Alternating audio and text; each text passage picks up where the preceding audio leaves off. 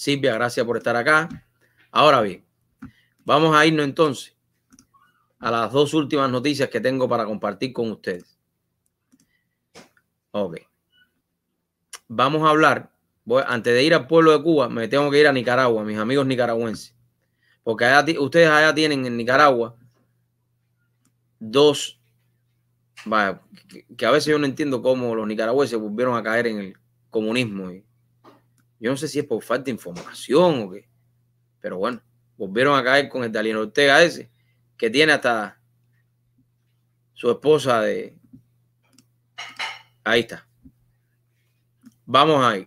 Vamos a hablar de esto. Eurodiputados exigen a la Unión Europea sanciones más firmes contra la dictadura.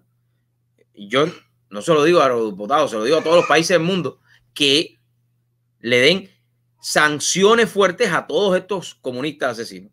Varios eurodiputados, o sea, la comunidad europea, han condenado este lunes la constante violación de los derechos humanos en Nicaragua y han exigido a la Unión Europea sanciones más firmes para garantizar el cumplimiento de los valores democráticos y unas elecciones libres y transparentes. Eso no va a existir en ningún lugar, y menos si tienen dominión allá. Si ellos tienen dominión en las elecciones, olvídate eso. El país centroamericano liderado por el asesino Daniel Ortega debe respetar unos niveles mínimos para tener un acuerdo preferencial con la comunidad europea.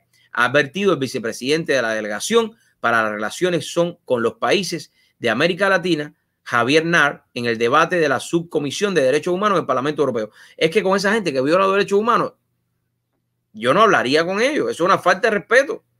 Unos mínimos que incluyen la independencia del sistema judicial, que eso no existe, la liberación de los presos políticos, la libertad de expresión, que no existe, y prensa, o la presencia de organizaciones de defensores de los derechos humanos, únicos testimonios que recogen la barbarie que vive en Nicaragua, según el representante de la Comunidad Europea.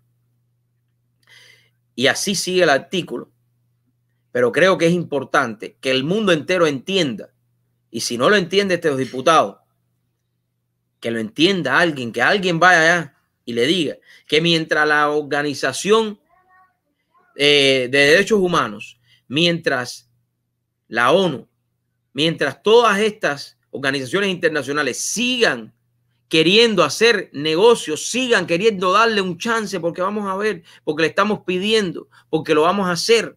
Mientras ellos sigan hablando con estos comunistas asesinos, no va a haber libertad de expresión, no va a haber libertad para esos pueblos, porque con ellos no se puede hablar. Usted va a hablar con Nicolás Maduro, que tiene comprado todo el sistema electoral en Venezuela, y decir, Nicolás, ¿qué tal? Venimos de la Comunidad Europea y necesitamos que usted nos des una elecciones transparentes. Mentira, no lo va a hacer como no lo va a hacer este señor que está aquí, que es un señor sin principio, que está hundiendo al pueblo de Nicaragua, que le está quitando todas las libertades, que está asesinando a la gente, que está eh, eh, o no quiere libertad de expresión y punto. Ellos se han reunido millones de veces con la oposición y lo que han es acabado con la oposición, porque eso es lo que ellos hacen, para no tener oposición. Bueno, vamos a pasar a la otra. Quería hablar del pueblo de Nicaragua para que abran la, porque las elecciones serán el 21 de noviembre, eh, aquí en noviembre del 2021, pero esas elecciones están compradas. Ahí no va a ganar otra gente que no sea Danielito Ortega o Daniel Ortega.